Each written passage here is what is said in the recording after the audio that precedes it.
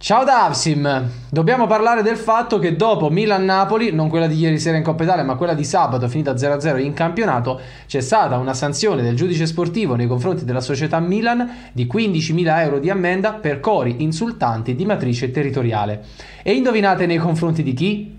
Ne parliamo dopo che avrete fatto un salto in descrizione per passare sul primo link ed aprire ed entrare nella mia raccolta fondi in favore di AIL per sostenere la ricerca contro le malattie del sangue, iniziativa a cui ho dato vita in occasione del mio trentesimo compleanno che sarà chiusa domani 31 gennaio, quindi avete ancora poche ore, pochi giorni eh, per donare il vostro contributo e far diffondere la raccolta fondi. Grazie.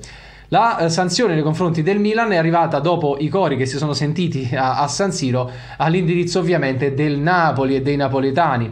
La solita storia, la solita storia eh, in che senso? Nel senso che eh, stiamo parlando, diciamo, siamo a cavallo tra razzismo e non razzismo. Ormai si sta facendo di tutta l'erba un fascio, cioè cori insultanti di matrice territoriale è una, sanzio- è una dicitura che comporta delle sanzioni ormai in maniera consolidata nella, nella giurisprudenza sportiva, ma non è una cosa che si è mai veramente chiarita perché poi ci sono cori insultanti di matrice territoriale, ma ci sono anche cori insultanti ben peggiori che, non, che siccome non sono di matrice territoriale non comportano nessuna sanzione. E allora che cosa stiamo facendo? Stiamo ripulendo il calcio dagli imbecilli? Stiamo ripulendo il calcio dagli idioti e da chi insulta? O stiamo semplicemente andando a dare delle sanzioni così un po' a caso, ma guarda caso, guarda caso sempre a tutela della stessa squadra, perché il problema è questo, il problema è che vi basta andare su Google e cercare eh, Cori eh, Napoli-Milan Cori, scrivete proprio su Google Napoli-Milan Cori e trovate non solo le notizie eh, dei cori che sono stati fatti, sarebbero stati fatti, diciamo sono stati fatti sabato perché io non li ho sentiti, eh, sabato oh, ma magari ci sono stati, eh, non voglio dire che non ci sono stati, sabato in,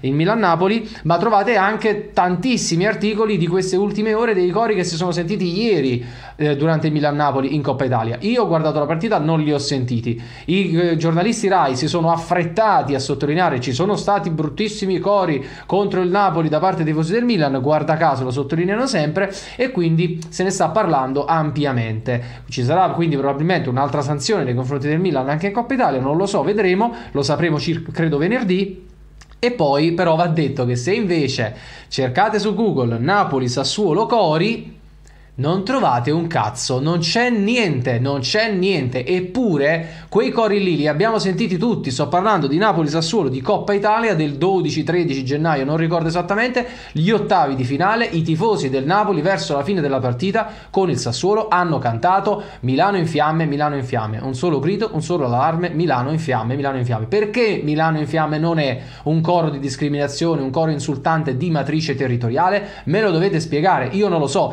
ma lo chiederei al giudice sportivo che il 16 gennaio 2019 nel suo comunicato con le sanzioni eh, disciplinari, quindi del, della, relative alla giornata di Coppa Italia, agli ottavi di Coppa Italia, non ha sanzionato la società Napoli. Zero sanzioni, niente di niente. Non se n'è proprio preoccupato. I giornalisti Rai dove erano quando i tifosi del Napoli hanno cantato Milano in fiamme? Perché non hanno sottolineato anche quel caso lì? E allora siamo veramente a due pesi e due misure, anche perché Ancelotti in occasione di Napoli-Sassuolo, prima di Napoli-Sassuolo, nella conferenza prepartita, Aveva detto a precisa domanda: la nostra intenzione è interrompere la partita, fermarci, interrompere temporaneamente la partita nel caso di cori insultanti, nel caso di cori razzisti.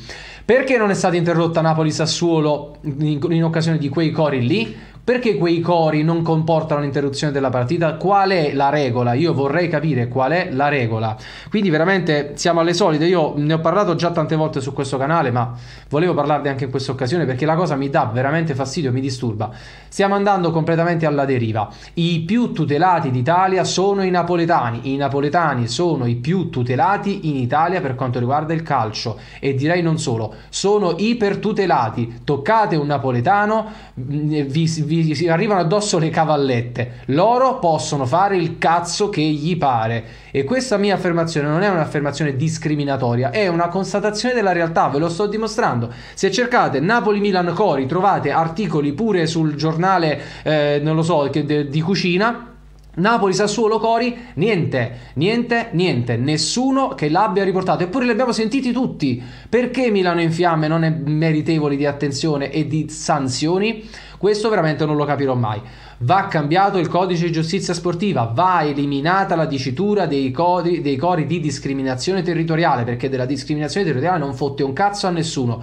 L'unica discriminazione territoriale è quella nei confronti dei napoletani.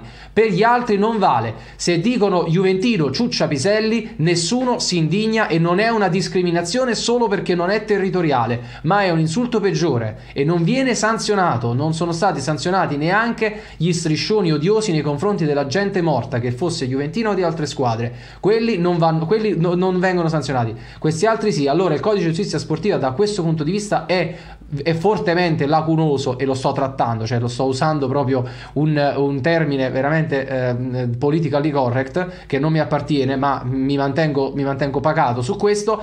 Va riformato e va eliminata la responsabilità oggettiva. Punto. L'ho detto un milione di volte, vi rimando ai miei video in cui ho già parlato. Parliamone nei commenti, ditemi la vostra.